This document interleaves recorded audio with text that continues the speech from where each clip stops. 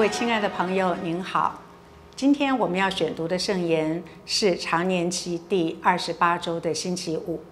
啊，今天我们开始新的一章，是路加福音的十二章一到七节。呃，这次耶稣讲的对象哈，是他的门徒们。不过呢，他还是提到了这些啊法利赛人。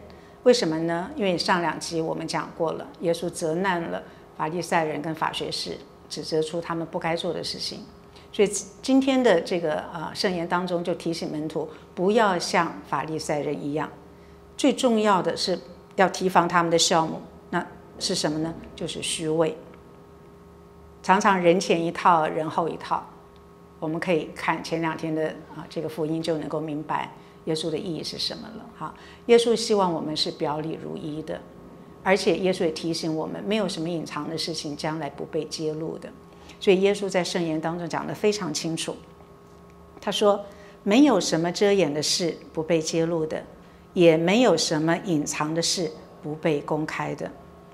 所以你在暗处所说的，必将在明处被人听见。”内室的耳语也会在屋顶上被人张扬出来，所以这个提醒我们：我们做人也要踏实，我们也不能人前一样，人后一样。你背后说的所有的别人的坏话，或者是污蔑了别人，或者是栽赃了别人，总有一天会水落石出的。好，那第二件事情，耶稣提醒他的门徒什么呢？我告诉你们。你们不要害怕那些杀害肉身以后不能够再做什么的，而要怕什么呢？我只是你们应该要怕的是，那位杀了肉身以后还有权把人投入地狱的。我告诉你们，应当怕的就是他。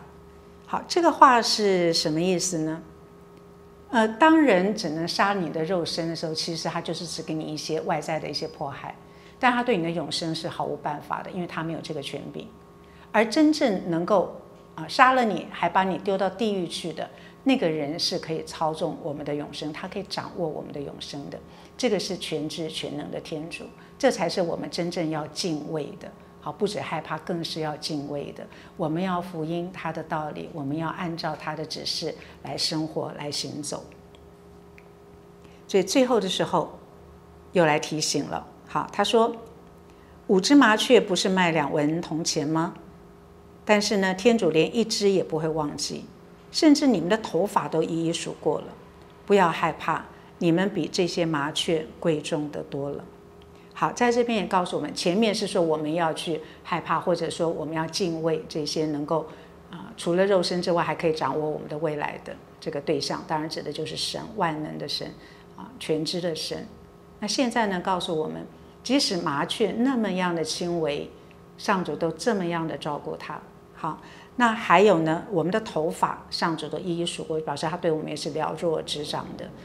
如果说上主连麻雀都不轻忽，当然会更看重比麻雀更贵重的我们。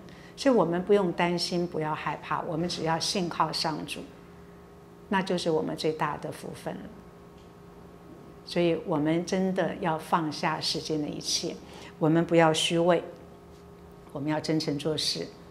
我们不要害怕当世的、此世的一些磨难、迫害。我们要看的、要瞻望的是永恒，因为永恒是上主掌握的，而他完全了解我们，他完全照顾我们，所以让我们放心的把自己交给上主吧。